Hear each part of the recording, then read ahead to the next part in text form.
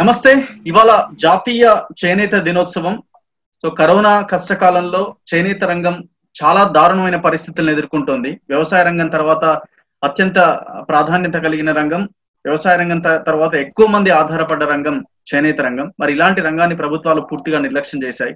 తెలంగాణలో అయితే పరిస్థితి చాలా చాలా దారుణంగా ఉంది. కనీసం తినడానికి తిండి కూడా లేని పరిస్థితుల్లో చేనేత కార్మికులు ఉన్నారు మాట్లాడదాం ప్రస్తుతం ఇదే అంశంపై మాట్లాడడానికి నాతో పాటు చేనేత రంగ కార్మిక సంఘం గౌరవ అధ్యక్షులు కూరపాటి రమేష్ ఉన్నారు. రమేష్ గారు నమస్తే. నమస్తే అండి. రమేష్ గారు ఇవాళ నిజంగా విషెస్ చెప్పాలో ఏంటో అర్థం కావట్లేదు. అలాంటి సిచ్యువేషన్ ఉంది. అంటే ఓ జాతీయ చేనేత దినోత్సవాన్ని గ్రాండ్గా జరుపుకునే పరిస్థితులు లేవు. కనీసం చెప్పుకోవడానికి కూడా అవకాశం లేనటువంటి పరిస్థితి ఉంది. చాలా ఇళ్ళలో పొయ్యిలు వెలగట్లేవు. తినడానికి తిండి లేని పరిస్థితి ఉంది. నేతన్నల నేత నేత కార్మికుల ఇళ్ళలో మీరు గమనిస్తున్న పరిస్థితి ఏంటి? వాళ్ళు ఏం చెప్తారు? చేనేత జాతీయ దినోత్సవం సందర్భంగా. అందరికీ నమస్కారము. ముందుగా ఎన్ని ఇబ్బందులున్నా ఈ రోజు చేనేత కార్మికులకి ఒక పండగ దినం. అందరికీ చేనేత దినోత్సవ శుభాకాంక్షలు. కానీ ఈ శుభాకాంక్షలు తెలియజేయడం అంటే అనేక ఇబ్బందుల్లో అనేక కష్టాల్లో ఈ శుభా ఈ చేనేత దినోత్సవాన్ని ప్రస్తుతం జరుపుకుంటా ఉన్నాం. తెలంగాణ రాష్ట్రంలో కరోనా వైరస్ రాకముందు కానీ కరోనా వైరస్ వచ్చిన తర్వాత కూడా చేనేత పరిశ్రమ చేనేత కార్మికుల పరిస్థితి దినదిన గండం నూరేళ్ళ ఆయుష్లాగా కొనసాగుతా ఉంది. చేనేత కార్మికులు ఉత్పత్తి చేసినటువంటి బట్టలకి సరైనటువంటి మార్కెట్ వసతి లేనటువంటి పరిస్థితి ఉంది. దాంతో పాటు ఎవరైతే చేనేత కార్మికులు పనిచేస్తా ఉన్నారో వారికి సరైనటువంటి ఆదాయం రానటువంటి పరిస్థితి కూడా నేడు ఉంది. ఇది కరోనా వైరస్ ఉన్నటువంటి ముందు ఉన్నటువంటి పరిస్థితి. కానీ కరోనా వైరస్ వచ్చిన తర్వాత పూర్తిగా చేనేత మొగ్గాలు మూగపోయాయి ఏ గ్రామంలో చూసినా చేనేత మొగ్గాలు పూర్తిగా మూతబడినటువంటి పరిస్థితి ఉంది. ఈ గత ఐదు నెలలుగా ఏ చేనేత కార్మికుడికి కూడా సంపూర్ణంగా పని లేనటువంటి పరిస్థితి ఉంది. ఇప్పటికీ పస్తులతోనే కుటుంబాల్ని గడుపుతున్నటువంటి పరిస్థితి ఉంది. అయితే మొగ్గాలు మూతపడ్డంతో ఈ రోజు అనేక మంది చేనేత కార్మికులు ఉపాధి హామీ పని కోసమో లేదు ఎక్కడన్నా మేస్త్రి పని లాంటి పని దొరికితే అక్కడికి తట్టలు మోయడం ఇట్లాంటి మట్టి పని చేయడం ఇలాంటి పనులకు కూడా అంటే ఆ పనులు చేయడానికి పరిస్థితులు ఆ విధంగా వచ్చాయి. ఎందుకంటే మొగ్గాలు పూర్తిగా మూతబడినటువంటి పరిస్థితి ఉంది. కాబట్టి ఈ రోజు ఏ పని దొరికితే పూట గడుస్తుందో ఆ పనికి వెళ్ళేటటువంటి కుటుంబాలు నేడు తెలంగాణ రాష్ట్రంలో చేనేత కార్మికులు ఎదుర్కొంటా ఉన్నారు. కానీ చేనేత కార్మికులకి ఉపాధి భద్రత కల్పించడం కోసం గాని లేదు వాళ్ళకి సరైనటువంటి ఆదాయం కల్పించడం కోసం గాని ప్రభుత్వాలు ఆ ప్రయత్నం చేయట్లేదు. ఈ రోజు దేశవ్యాప్తంగా చేనేత దినోత్సవాన్ని జరుపుకున్నారు. ఇంతకుముందు కేటీఆర్ గారు కూడా జూమ్ యాప్లో మొత్తం తెలంగాణ రాష్ట్రంలో ఉన్నటువంటి కలెక్టరేట్ల తోటి ఒక జూమ్ కార్యక్రమాన్ని ఏర్పాటు చేశారు. దా కార్యక్రమంలో నేను కూడా పాల్గొన్నా. కానీ ఆ కార్యక్రమంలో కేటీఆర్ గారు చెప్పినటువంటి మాటలు మా ఇతర రాష్ట్రాలు మమ్మల్ని పొగిడాయి. ఒరిస్సా గుజరాత్ నుంచి ఇక్కడికి వచ్చి ఇక్కడ చేనేత కార్మికులకి రాష్ట్ర ప్రభుత్వం అమలు చేస్తున్నటువంటి పథకాలని అధ్యయనం చేసి మమ్మల్ని మెచ్చుకున్నారు అని ఆ సందర్భంగా చెప్పారు. కానీ దాంట్లో ఆయనకి ఏం మెచ్చుకున్నారు ఏ పథకాలు అమలు చేస్తున్నారో ఒకసారి ఆలోచించాల్సినటువంటి అవసరం ఉంది. ఈ సందర్భంగా కేటీఆర్ గారు ఒక పథకాన్ని చెప్పాడు. గత రెండు సంవత్సరాల క్రితము చేనేతకు చేయూత పథకాన్ని ప్రభుత్వం ప్రవేశపెట్టింది అనేక కార్మికులు కోరిక మేరకి అనేక పోరాటాల ఫలితంగా. సమంత ఒక హీరోయిన్ని కూడా బ్రాండ్ అంబాసిడర్గా పెట్టారు. ఆ, ప్రతి. వారంలో ఒక రోజు చేనేత వస్త్రాలు ధరించాలనేదో ఇది తీసుకున్నట్టున్నారు. అవును. ఇవన్నీ మాటలకే పరిమితం అయ్యాయండి. ఎలాంటి కార్యక్రమాలు పెట్టలేదా? మీరు అంటున్న ఈ చేనేత చేయూత ఎంతవరకు ఉపయోగపడింది? ప్రతి సోమవారం చేనేత వస్త్రాలు ధరించాలి అనేది అది ఒక భాగం. అది కొంతమేరకి చేనేత వస్త్రాలకు మార్కెట్ కలిగేటటువంటి అవకాశం ఉంటది. కానీ ఆ ఒక్క రోజే శాశ్వత పరిష్కారం చూపదు కదా. అవి ఆ పిలుపు ఎంతమంది అమలు చేస్తున్నారు అనేది ప్రభుత్వం ఆలోచించాలి. ప్రభుత్వ రంగ అధికారులు ఏ మేరకి ఆ ప్రభుత్వం ఇచ్చినటువంటి పిలుపు ఏ మేరకు అమలు చేస్తున్నారు అనేది కూడా ఆ, ఈ రోజు ప్రశ్నార్థకంగా ఉంది. ఏదో మాటల వరకే పరిమితం అవుతుంది తప్ప క్షేత్రస్థాయిలో మాత్రం ప్రభుత్వం చెప్పినటువంటి మాటలకి చేతలకి చాలా వ్యత్యాసం ఉంది. ఈ రోజు ఇంతకు మీరు అడిగిన దాంట్లో థ్రిఫ్ట్ ఫండ్ చేనేతకు చేయూత పథకాన్ని రాష్ట్ర ప్రభుత్వం ప్రవేశపెట్టింది. అయితే ఇది ముప్పై ఆరు నెలల కాల పరిమితి ఈ ముప్పై ఆరు నెలల కాల పరిమితిలో చేనేత కార్మికులు ఎనిమిది శాతం పొదుపు చేసుకుంటే పదహారు శాతం ప్రభుత్వం కార్మికుల అకౌంట్లో జమ చేస్తుంది. ఇది నేరుగా కార్మికుడికి ఉపయోగపడేటటువంటి పథకం. అయితే ఈ కరోనా వైరస్ వచ్చినటువంటి నేపథ్యంలో ఆర్థిక ఇబ్బందులు ఎదుర్కొంటున్నారు. ఈ డబ్బుల్ని మూడు సంవత్సరాల కాల పరిమితి లోపే విడుదల చేయాలి అని అడిగాం. ప్రభుత్వం దాని సానుకూలంగా స్పందించింది. అయితే విడుదల చేసింది కానీ దీని వెనకాల జరుగుతుంది ఏంటి? ఎవరైతే థ్రిఫ్ట్ ఫండ్ పథకం డబ్బులు బ్యాంకుల్లో పొదుపు చేసుకున్నారో ఆ కార్మికులు బ్యాంకులో అప్పు ఉంటే ఆ అప్పు కింద చేనేత కార్మికులు పొదుపు చేసుకున్నటువంటి సొమ్ముల్ని బ్యాంక్ అధికారులు అప్పు కింద జమ చేసుకుంటున్నారు. అంటే ఈ- సందర్భంగా ప్రభుత్వాన్ని మేము అడుగుతుంది ఏంటి? బ్యాంక్ అధికారులు అప్పులు చెల్లించుకోవడం కోసం అప్పుల కింద పొదుపు నిధులు పట్టుకోవడం కోసం విడుదల చేస్తారా లేకపోతే ఈ కరోనా కష్టకాలంలో కార్మికులు ఆర్థిక ఇబ్బందులు పడకుండా ఉండడం కోసం నిధులు విడుదల చేశారా? దీని మీద మంత్రి గారు ఏ ప్రకటన చేయలేదు ఈ రోజు అంటే మేము కోరుతుంది ఏంటి? ఎవరైనా కార్మికులు బ్యాంకు దగ్గర అప్పు ఉంటే ఆ అప్పు కింద పొదుపు చేసుకున్న డబ్బుల్ని ఆ జమ చేసుకోకుండా ఈ కరోనా కష్టకాలంలో కార్మికులకు ఇవ్వాలి అని అడుగుతున్నాం. దాని మీద ప్రభుత్వం స్పందించాలి. ఎవరైతే అప్పులు కింద బ్యాంకు అధికారులు డబ్బు జమ చేసుకున్నారో వాళ్ళకి ఆదేశాలు ఇవ్వండి. ఈ పొదుపు నిధులు కా- కరోనా కష్టకాలంలో కార్మికుల కోసమే కదా విడుదల చేసింది. మరి అప్పుల కింద కట్టుకోవడం కోసం కాదు కదా. అందుకే బ్యాంక్ అధికారులకి ప్రభుత్వం ఒక స్పష్టమైనటువంటి ఆదేశాలు ఇవ్వాలి. ఈ అప్పుల కింద ఈ పొదుపు నిధుల్ని జమ చేసుకోకుండా నేరుగా కార్మికుడికి ఇవ్వాలి అనేటటువంటి ఒక ఆదేశాలు ఇవ్వాలి ఆ ప్రయత్నం చేయాలి. అది ఒక భాగం. రెండవది ఈ కరోనా కష్టకాలంలో కార్మికులకు ఉన్న చేనేత చేయూత పొదుపు పథకాన్ని కూడా ఈ నెలతో ప్రభుత్వం రద్దు చేసింది. అంటే కష్టాల్లో ఉన్నప్పుడు ఆదుకోవాల్సినటువంటి ప్రభుత్వాలు కానీ ఆ కష్టాల కాలంలోనే ఉన్న పథకాలను కూడా రద్దు చేస్తున్నారు. అది కేంద్ర ప్రభుత్వం కావచ్చు రాష్ట్ర ప్రభుత్వం కావచ్చు. ఇవాళ ప్రభుత్వ పార్టీ అధికారిక పత్రికలో మాత్రం చేనేత కళను ఆదుకుంటున్న కేసీఆర్ అని కొన్ని ఆర్టికల్స్ వచ్చాయి. అవునండి. అంటే ప్రభుత్వం ఆ భావనతో ఆలోచనతో ఉంది. మేము కార్మికులను ఆదుకుంటున్నాం. కార్మికులంతా తెలంగాణలో చాలా హ్యాపీగా సుభిక్షంగా ఉన్నారు అని. పత్రికల్లో వాళ్ళు రాయించుకున్నటువంటి వార్తలు కానీ మిగతా పత్రికలు చాలా చూసాం. చేనేత కార్మికులకి ప్రభుత్వము పూర్తి సహకారం మాత్రం అందట్లేదు. ఇప్పుడు ఒక ఉదాహరణ చేనేత పొదుపు పథకాన్ని చూసాం. యాభై శాతం యారన్ సబ్సిడీ ప్రతి కార్మికుడికి ఇస్తున్నామని ప్రభుత్వం చెప్పింది. నేను ఇంతకుముందు కేటీఆర్ గారు మాట్లాడుతున్నటువంటి అంశాల్లో ఒకటి గమనించాను. ఇరవై ఆరు వేల మంది యారన్ సబ్సిడీ కోసము రిజిస్ట్రేషన్ చేసుకుంటే మేము ముప్పై రెండు వేల మందికి ఇచ్చానంటున్నారు. అసలు రిజిస్ట్రేషన్ చేసుకున్న వాళ్ళకి ఇస్తున్న ఇచ్చే పరిస్థితి లేదు. ఇంకా ఈ ముప్పై వేల మందికి పైగా యారన్ సబ్సిడీ ఇస్తున్నామని ప్రభుత్వం చెప్పడం అంటే ఈ యాభై శాతం సబ్సిడీ అనేది ఏ కార్మికుడికి ఇప్పటి వరకు అందలేదు.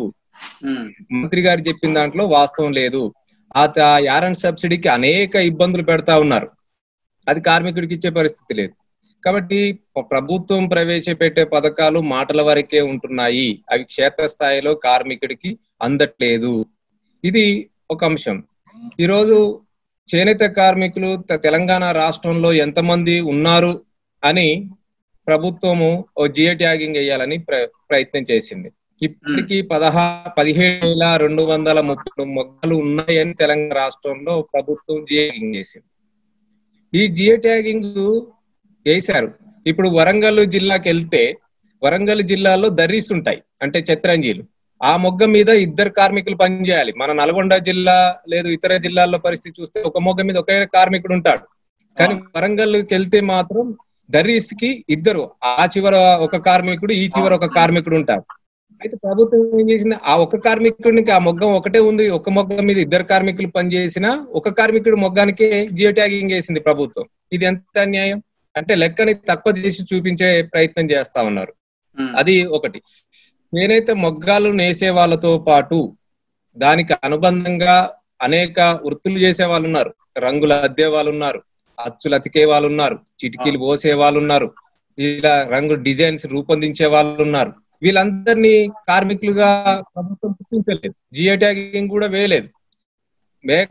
కేవలం మొగ్గను నేస్తున్నటువంటి కార్మికుడికి జియో ట్యాగింగ్ వేసే ప్రయత్నం చేస్తూ అది కూడా పూర్తి స్థాయిలో మొగ్గను నేసే కార్మికులకు కూడా జియో ట్యాగింగ్ వేయలేదు. అందుకే ఈ సందర్భంగా ఏం చెప్తా ఉన్నాం? జియో ట్యాగింగ్ ప్రతి కార్మికుడికి జియో ట్యాగింగ్ వేయాలి. అనుబంధంగా ఎన్ని వృత్తులున్నా చేనేత మీద ఆధారపడినటువంటి వాళ్ళని కూడా ప్రభుత్వము చేనేత కార్మికులుగా గుర్తించాల్సినటువంటి అవసరం ఉంది. ఇది ప్రభుత్వం చేయాలి. దీని మీద మాత్రం ప్రభుత్వం స్పందించట్లేదు. కొత్తగా మా బేసిక్గా చేనేత అనగానే సిరిసిల్ల ప్రాంతం గురించి ఎక్కువగా ఫోకస్ చేస్తున్నారన్నది కొంతమంది నుంచి వస్తున్న విమర్శ. ఇది వాస్తవమేనా? అక్కడి కార్మికులు కూడా కనీసం వాళ్ళైనా సంతోషంగా ఉన్నారా? బతుకమ్మ చీరలు నేస్తూ వాళ్ళు చాలా హ్యాపీగా. ఉన్నారని. సిరిసిల్లదా? సిరిసిల్లలో. ప్రభుత్వం ఇక్కడ ఒకటి తెలంగాణ ప్రజానీకము క్లారిటీగా ఉండాలి. రాష్ట్ర ప్రభుత్వం కూడా స్పష్టమైనటువంటి ఆ, ఆలోచనతో ఉండాలి. సిరిసిల్లాలో ఉన్నది చేనేత మొగ్గాలు కాదు. అక్కడ ఉన్నటువంటిది పవర్ పవర్లూమ్ రంగాలు. పవర్లూమ్స్. కానీ ప్రభుత్వం ఏం చెప్తుంది? మేము సిరిసిల్లలో ఉన్న చేనేత కార్మికులకి ఉపాధి కల్పిస్తున్నాం బతుకమ్మ చీరల వల్ల అంటున్నారు. బతుకమ్మ చీరలు తయారయ్యేది కేవలం సిరిసిల్లాలోనే. ఆ సిరిసిల్లాలోనే తయారయ్యేది పవర్లూమ్ మీదనే తయారవుతుంది. కానీ అక్కడ కూడా ఏమన్నా ఉపయోగం జరుగుతుందా? ఆ కార్మికులకని పరిశీలించినప్పుడు ప్రభుత్వం ఒక మీటర్కి ముప్పై రెండు రూపాయలు ధర నిర్ణయించింది బతుకమ్మ చీరకి. ముప్పై రెండు రూపాయలు. ఈ ముప్పై రెండు రూపాయల్లో నాలుగు రూపాయల ఇరవై ఐదు పైసలు కార్మికుడి కూలి. మరో నాలుగు రూపాయల ఇరవై ఐదు పైసలు ఆసామిది. పదహారు రూపాయలు రంగులు రసాయనాలు పాలిస్టర్ దారం జరి. ఇవన్నీ పోగా ఇంకా ఏడు రూపాయల యాభై పైసలు ఉంటాయి. ఈ ఏడు రూపాయల యాభై పైసలు ఎక్కడికి పోతున్నాయి అని మనం పరిశీలించినప్పుడు అక్కడ ఉన్నటువంటి కొంతమంది పది మంది పదకొండు మంది యజమానుల జేబుల్లోకి ఆ డబ్బులు వెళ్తున్నాయి. ఇది. స్పష్టం. ఇవి లెక్కలతో సహా పెట్టాం. అంటే కష్టం చేసిన వాడికి పన్నెండు గంటలు పదమూడు గంటలు పవర్లూమ్స్ మీద పనిచేస్తాడు అక్కడ కార్మికుడు. పన్నెండు గంటలు పదమూడు గంటలు పని చేసిన వాడికి మీటర్కి నాలుగు రూపాయల ఇరవై ఐదు పైసలు. ఏ కష్టం చేయకుండా ప్రభుత్వం దగ్గర ఫైరవి చేసుకున్న వాడికి మాత్రం ఏడు రూపాయల యాభై పైసలు జోబులు నింపుతుంది. అంటే బతుకమ్మ చీరల పేరుతోటి కార్మికుల ఉపాధి కల్పిస్తున్నాం మెరుగైన ఆదాయం కల్పిస్తున్నాం అని ప్రభుత్వం చెప్తున్న దాంట్లో కేవలం కొంత ఉపాధి పెరిగిన మాట వాస్తవమే కానీ కార్ కష్టం చేసిన వాడికి నాలుగు రూపాయల ఇరవై ఐదు పైసలు ఇంట్లో ఉండి పై ఫైరవిల్లు చేసుకునే వాడికి మాత్రం మీటర్కి ఏడు రూపాయల యాభై పైసలు వెళ్తున్నాయి. ఈ విధంగా సిరిసిల్లాలో పౌర్లం కార్మికుల యొక్క పరిస్థితి. అక్కడ ఒకటి రమేష్ గారు మీరు ప్రభుత్వానికి చేస్తున్న సూచన గానీ మీ డిమాండ్స్ గానీ ఏంటి? ఇప్పుడు ఈ పరిస్థితుల్లో ఈ దారుణమైన సిచ్యువేషన్స్లో చేనేత కార్మికులను ఆదుకునేది ఎట్లా? ఏం చేస్తే కొంతలో కొంతైనా ఆదుకునే అవకాశం ఉంటుంది? ఇప్పుడు ప్రభుత్వం చేయాల్సింది ప్రతి కార్మికుడికి పెట్టుబడి వర్కింగ్ క్యాపిటల్ ఇవ్వాలి. అంటే తనకు తానుగా స్వయంగా మొగ్గాలు నేసుకునేటువంటి ప్రయత్నం ప్రభుత్వం చేయాలి. ప్రభుత్వం గతంలో చేనేత పవర్లూమ్కి ప్రత్యేక కార్పొరేషన్లు ఏర్పాటు చేస్తామన్నారు. ఆ కార్పొరేషన్లను ఏర్పాటు చేసి ఆ కార్పొరేషన్కి వెయ్యి కోట్ల రూపాయలు నిధులు గనక కేటాయిస్తే ప్రతి కార్మికుడికి వర్కింగ్ క్యాపిటల్ ద్వారా నిధులు సమకూర్చిస్తే ఆ కార్మికుడు తనకు తానుగా వస్త్రాలను ఉత్పత్తి చేయగలుగుతాడు. ఈ ఉత్పత్తి చేసినటువంటి వస్త్రాలకి ప్రభుత్వం మార్కెట్ సదుపాయం కల్పించాలి. ఈరోజు కల్లుగీత కార్మికులకు సంబంధించి నక్లెస్ రోడ్లో నీరా కేఫ్ పెట్టారు. అదే పద్ధతిలో చేనేత కార్మికులకు కూడా అన్ని జిల్లాల్లో షోరూములు పెట్టాలి. ఆ వాటికి మార్కెట్ వసతి కల్పించాల్సినటువంటి అవసరం ఉంది. ఒకటి కళ్యాణ లక్ష్మి షాదీ ముబారక్ ఇవి ప్రభుత్వము ప్ర- పథకాలను ప్రవేశపెట్టింది. ఈ పథకాలకు పెళ్ళిళ్ళు చేసుకున్న వాళ్ళకి మీరు డబ్బులు ఇస్తా ఉన్నారు ఆర్థికంగా. అదే పద్ధతిలో చేనేత కార్మికుల దగ్గర ఉన్నటువంటి పట్టు చీరలు కావచ్చు దోతులు కావచ్చు వీటిని కూడా ప్రభుత్వం కొనుగోలు చేసి కళ్యాణ లక్ష్మి షాదీ ముబారక్ ముబారక్ ద్వారా కొన్ని చీరలు దోతులు గనక ఇవ్వగలిగితే ఇక్కడ కొంత మార్కెట్ పెరగడానికి అవకాశం ఉంటుంది. ఇటు కార్మికులకు ఉపాధి కల్పించేటటువంటి అవకాశం ఉంటది. ఆ ప్రయత్నం ప్రభుత్వం చేయాలి. కాబట్టి ఈ వర్కింగ్ క్యాపిటల్ ఇవ్వాల్సినటువంటి అవసరం ఉంది. అనేక షోరూములు తెరవాల్సినటువంటి అవసరం ఉంది. ఈరోజు కేంద్ర ప్రభుత్వం ఒకటి జూలై ఇరవై తొమ్మిదో తారీఖు నాడు ఆ, ఒక ఆ, జాతీయ చేనేత బోర్డు అనేది ఉన్నది. గత అనేక సంవత్సరాలుగా చేనేత కార్మికుల సమస్యల మీద చర్చించి ప్రభుత్వానికి సరైనటువంటి సూచనలు ఇవ్వడానికి. కానీ జాతీయ చేనేత దినోత్సవం అని తెలిసిన చేనేత ఒక రోజు పండగ జరుపుతా ఉన్నారు. ఉన్న చేనేత బోర్డుని కేంద్ర ప్రభుత్వం రద్దు చేసింది ఈ సందర్భంగా. చేనేత జాతీయ చేనేత బోర్డుని రద్దు చేయడం అంటే చేనేత కార్మికుల వాణిని వినిపించకుండా చేసే ప్రయత్నం చేసింది. కాబట్టి తిరిగి ఆ జాతీయ చేనేత బోర్డుని ఆ ఏర్పాటు చేయాల్సినటువంటి అవసరం ఈ సందర్భంగా ఉంది. రాష్ట్రానికి రాష్ట్ర- రాష్ట్రానికి వస్తే చేనేతకి జౌలికి ప్రత్యేకమైనటువంటి పాలసీలు రూపొందించాలి. థ్రిఫ్ట్ ఫండ్ పథకాన్ని ఈ కరోనా కష్టకాలంలో థ్రిఫ్ట్ ఫండ్ పథకాన్ని కార్మికులు పొదుపు చేసుకునేటువంటి అవకాశం లేదు కాబట్టి ఆ ప్రభుత్వం ప్రభుత్వమే ఆ థ్రిఫ్ట్ ఫండ్కు సంబంధించినటువంటి డబ్బుల్ని కార్మికుల అకౌంట్లో జమ చేయాల్సినటువంటి అవసరం ఉంది. ఈ యారన్ సబ్సిడీ పట్టు నూలు రంగులు రసాయనాలు చేనేతకు అవసరమైనటువంటి ముడి సరుకులు ఏవైతున్నాయో ఆ సరుకుల్ని యాభై శాతం సబ్సిడీ మీద నేరుగా కార్మికుడికి అందించే ప్రయత్నం చేయాలి వస్త్రాలకి మార్కెట్ వసతి కల్పించాల్సినటువంటి అవసరం ఉంది. బడ్ చేనేతకు జౌలికి సపరేట్ బడ్జెట్లు ఉండాలి. ఈ రెండు కలగాపులగం చేస్తే మాత్రం ఈ రెండు రంగాలకి ఉపయోగం జరగదు. కాబట్టి ఆ ప్రయత్నం ప్రభుత్వాలు చేయాల్సినటువంటి అవసరం ఉంది. Right thank you very much Ramesh garu. చూద్దాం గవర్నమెంట్ ఏమైనా చర్యలు తీసుకుంటుందేమో. Thank you thank you very much చూస్తూనే ఉండండి. తొలి వెలుగు.